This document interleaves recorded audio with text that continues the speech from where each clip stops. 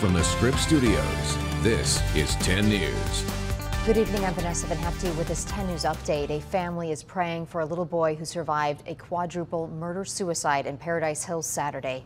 Nine-year-old Ezekiel Valdivia is still in Rady Children's fighting for his life.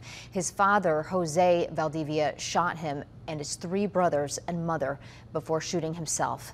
San Diego police say Jose's wife, Sabrina Rosario, spent Friday obtaining a restraining order against her husband. Police are investigating an officer-involved shooting in North Park. They say a 17-year-old carjacked a woman at gunpoint Saturday night. He then led officers on a wild chase after they tried to stop him.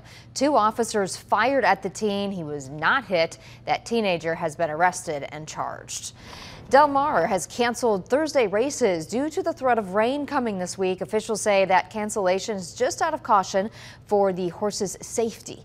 The rain is also likely to make the dirt and the grass tracks unsuitable for racing. Races are still on for this upcoming weekend, however.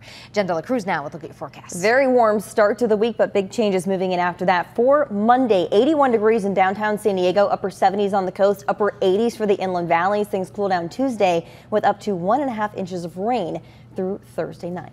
For the latest news, weather, and traffic, go to 10news.com or download our free 10 News mobile app. For 10 News, I'm Vanessa Van Hefty.